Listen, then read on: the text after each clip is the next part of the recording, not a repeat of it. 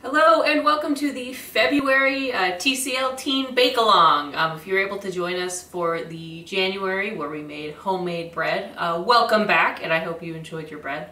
Um, if this is your first time, uh, welcome. Uh, today we're making something much less time consuming than bread. Uh, probably a bit more basic than bread. Uh, we're going to be making a vanilla wacky cake. and it's called wacky because it has uh, no dairy, no eggs, um, which is wacky. Sorry. hey, anyway, we're glad to have you and let's get started. Okay, so first thing we're gonna do, and I'm doing it off screen, is preheat our oven. Uh, we're preheating it to 350 degrees. Uh, and this prep will take very little time, uh, so you really want to you really want to uh, get that preheat going first. Uh, this will take much less time than bread did. Um, the next thing is uh, greasing or lining your pan. Now you can either grease it by putting like just scraping a, like a stick of butter around the side. You can spray it with cooking spray. Um, but what I'm gonna do, um, mostly for a little extra learning experience for you, is I'm going to line it with parchment paper. So, careful, it's gonna be loud, sorry. There we go. Now if you're going to do like a lot of baking, if you already like baking or if you want to get into baking, I recommend getting parchment paper. Or if you can afford to get it, um, a silicone baking sheet. Um, which is really good for making so things don't stick to your pans while also not messing with the texture on the outside. Uh, greasing a pan can kind of make it um, make the outside of your cake or whatever it is you're baking in a little bit crispier, like crustier, which is fine. But, you know, if you were on the Great British Bake Off, say, they might get on you for that. Um, but for parchment paper, what I'm going to do is just take a little pencil just to make sure it's the right size for a weird pan like this. Go around the sides. There we go. And the grid lines are nice, but since this pan doesn't fit nicely into all the grid lines. There we go. And then I've also got kitchen shears. You can tell we're in a, a different kitchen now. This is my home kitchen. Um, and baking is what I do. So I've got a lot of baking supplies. Uh, and then just cut all the way down and just stay on those pencil lines.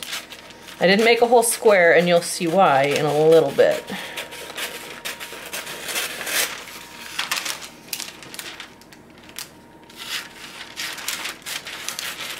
Trying to get it fit. Hey, eh, oh, nope. There we go, yeah. Okay. Now that we've done that, what I might, oh no, we got it. And then you just press it down in and you have some hanging over the sides. And the reason you have it hanging over the sides is because it's easier to get the cake out that way. And again, you can just spray it and then once it's cooled a bit, like knock it out of the pan. But if you want to be super fancy, you can have your parchment paper hanging out a little bit like this. All right, set that off to the side. And now we actually mix all of our stuff together. Okay, starting with our dry ingredients. Uh, yours are all just gonna come in a bag like this. All the dry ingredients are in there, you don't need to worry about it. Open that on up. And dump it in a bowl. Okay, and you can see it's kind of clumped a little bit. Mine's been sitting. Uh, if you did last month's bake along, then you have a nifty tiny whisk. Uh, if not, you can just use a fork. We're gonna just mix that all together nicely.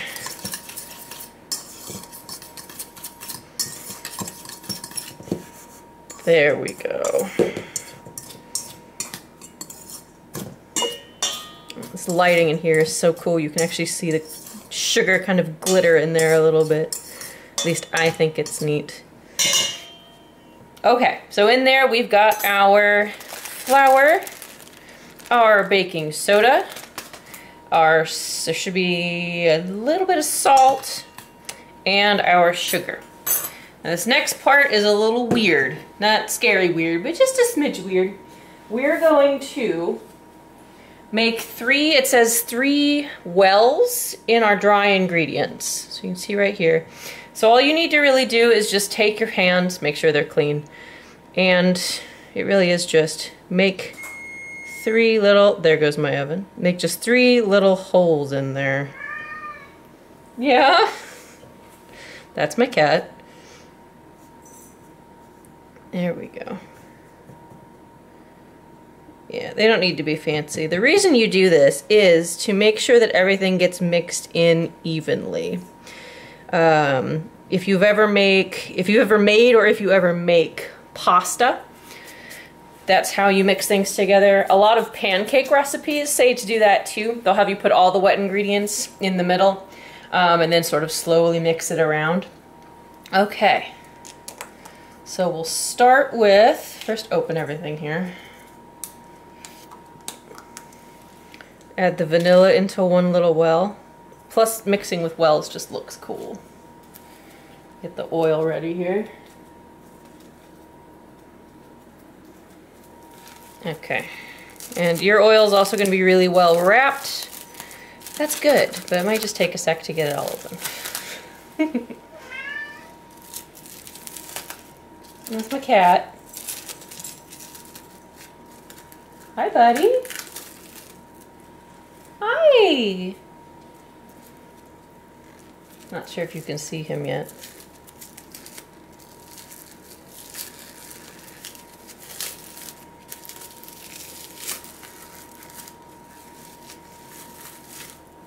There we go. Okay, pour in the oil. All right, it might go a little bit over the well and that is okay. There we go. Yeah, it went a little bit out, but that's fine. And then the vinegar in the last one.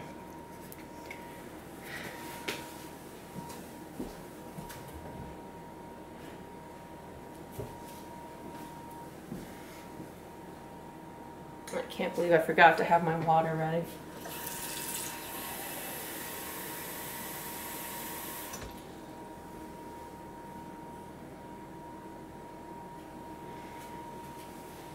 All right, once you got all those poured in there, you're going to take your cup of water. I've got a cup measure. You really can just take, if you've got a cup that it looks about eight ounces, that's how much a cup is. Fill that with water, bam.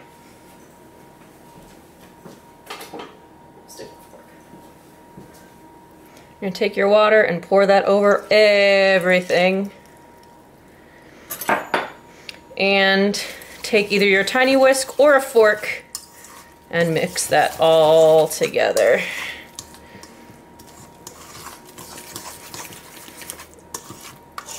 You can smell that vanilla, it smells really good.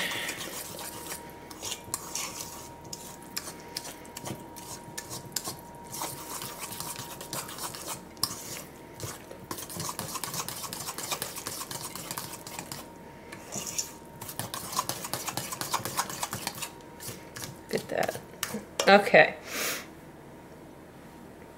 Now, in your kit, you will notice you've got a very smaller version of one of these rubber spatulas. Uh, mine is a special Antoni one. I got it as a gift.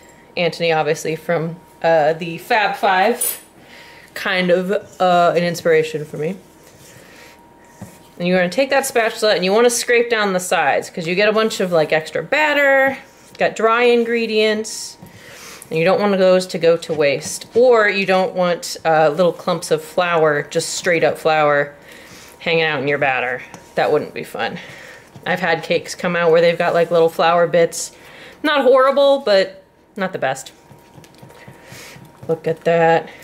Okay, now it will still have some little lumps in there.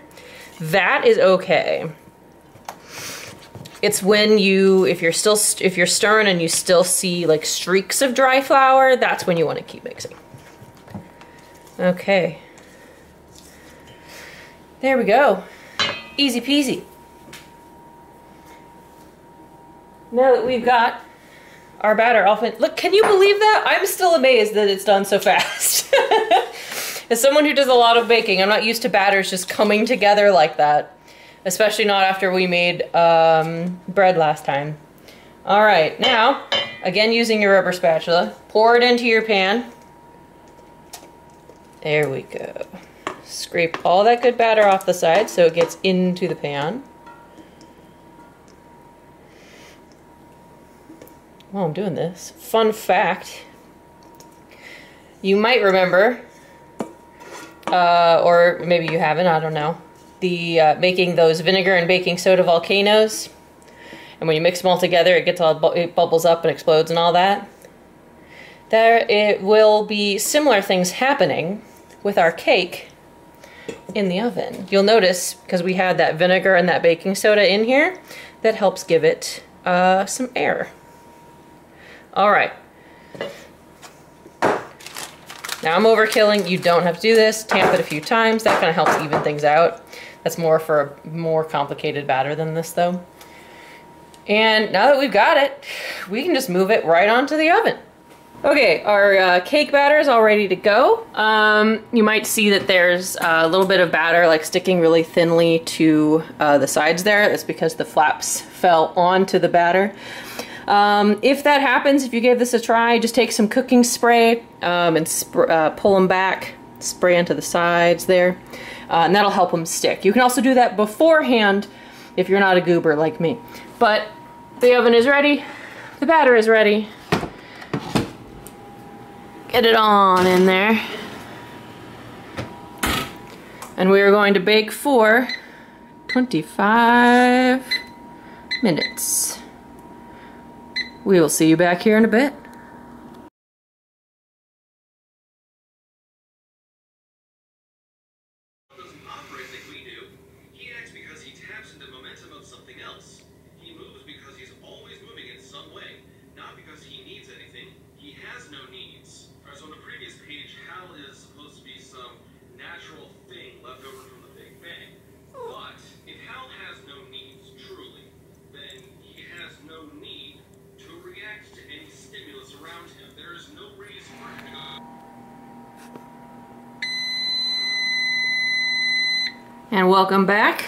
Means our cake should be done. Ooh, all right, I'm taking a peek at it. Top looks nice and poofy, but here's what you're gonna do. If you're not sure if a cake is done yet, peek it out just a little bit and grab really anything. You can get a knife, you can get like a skewer. I've got a toothpick. Poke it in the middle there we go. There's only, oh, it won't focus, but there's only a little bit of crumb on there, which means cake is done. Turn off the oven, pop it on out.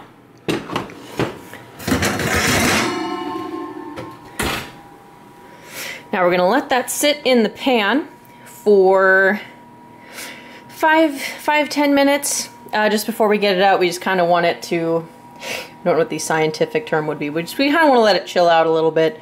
Um, you can see also see these nice all those bubbles there. Uh, that comes from the vinegar and baking soda working together. That's pretty neat. All right, so we will be back in just a little bit uh, with this guy on a cooling rack. Um, and then we'll talk about some potential frostings that you could do this is the Marilyn from the future. Um, cake is all finished, um, and what you're seeing now is me working on making uh, a bonus topping for my cake. It's a uh, chocolate ganache. Uh, chocolate ganache is really easy to make. Um, you just want equal parts of chocolate and cream. Uh, so what I tried to do, because I did this on the fly, um, was get about four ounces total of chocolate, I had some leftover uh, mini milk chocolate chips and some white chocolate chips, and then uh, four ounces of cream. Um, I think I actually added in too much cream, uh, which you'll see later. But uh, essentially, what you do is you just take the cream, you put it in a pan, um, and you leave it to. You don't really need to stir it too much. Just kind of keep an eye on it until it starts steaming up, getting nice and warm. Uh, once it is nice and warm, you pour it into a bowl with the chocolate and then cover it with uh, what I did was plastic wrap, uh, just kind of keep that heat in. Uh, the goal is to have that cream uh, soften up the chocolate, and then you take a whisk and you stir it all together, and ideally you get a nice thick sauce. Um, you'll see that I used a little bit too much cream, um, and so I just added in some chocolate to try and fix that, and it kind of did. Um, it still ended up a pretty uh, thin, but tasted really, really good, uh, considering it was just a two types of chocolate sauce. Um, so yeah, you could theoretically um, use that for just about anything. You could make chocolate milk with that if you wanted instead of like a Hershey sauce, um, but it still turned out pretty tasty. And don't toss it if it looks too thin. That's another thing um, is that you can probably try and fix it. It just takes a little bit of a little bit of thinking. Um, so if you've got any extra chocolate lying around um, after you've got enough for making a ganache, say, um, then you can just give that a try. So now we're gonna take it, we're gonna pour it on the cake and see how it turned out. And welcome back to our finished cake. Uh, you can see I put it on a cooling rack. You don't have to, this just makes it cool a little bit faster. Um, the uh, parchment paper came out a-okay. I've already got the pan and whatnot in the sink. Uh, so this is where your kit ends. Uh, you've made yourself a really good cake. Uh, that's fine just on its own. Um, you'll see in footage before this, I tried to make a chocolate ganache, uh, which is just uh, chocolate and cream, and you mix that all together, and it's supposed to become a very nice smooth sauce. Um, I tried to do this on the fly, um, it didn't really work out. It's a little more just like hot chocolate. Um, but the point of that is that you can really it, top it with whatever you want, if you want to top it with anything. Um, if you've got, just get some heavy whipping cream, um, heavy cream, just mix it together. You can do it by hand. It would take a while, but you all you need is a whisk and some cream and the ability to just whisk for a long time um, and then you put it on there and it would just turn out pretty tasty. Or you can try to, uh, you could just melt some chocolate instead of trying to get all fancy, like making a chocolate ganache that I did. Um, but what I'm going to do is I'm going to see if this chocolate ganache, it, it's a ganache, but I'm going to see if that won't like soak into our cake and make it nice and chocolatey and tasty real fast. Uh, so stay tuned. We'll see if whatever this chocolate ganache thing is works. All right, we're trying out the chocolate ganache. We're gonna pour it on top. It's gonna get, this is gonna get messy. I could put stuff down on the counter. I'm not going to because I'm a rebel. I might regret it later, but yeah. Let's pour this. Oh yeah. There we go. This might actually behave a little bit better. Because ganache is weird. Ideally, look at that, there it goes. Ideally, once you pour it on, it just takes a little while to cool and harden. Uh, so yeah, look at that. See, this is why it's uh, good that I'm baking at home because this means I don't have to worry about it. It's just, it's all my mess. Here we go. All right. Hey, okay, that doesn't look too bad. A little weird, but not too bad. So we're gonna let that cool and come back to it and see if we can get even just a semi-solid soft ganache. Stay tuned. Welcome back. We've got our cooled cake. I let the uh, slapdash ganache, I like that a lot, um, cool a little bit to see if it hardened into something. So now we're going to do the fun part of any cake, which is cutting it. There we go. All right. Cake is nice and soft. The ganache is still like super thin like we saw, but it did give a nice little thin glaze. Whoop, whoop. Yeah, there we go. Whoop. And there we go. Bam! We've made a nice little vanilla dairy-free sponge cake. Let's do the best part, obviously. Hmm.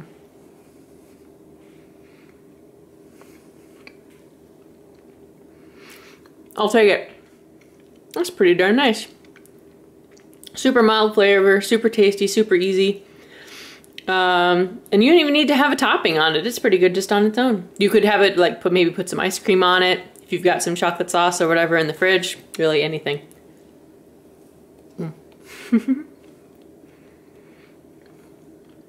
thank you for joining me for this second installment of the TCL Teen Bake Along. I hope you enjoyed your cake, and we will see you next time.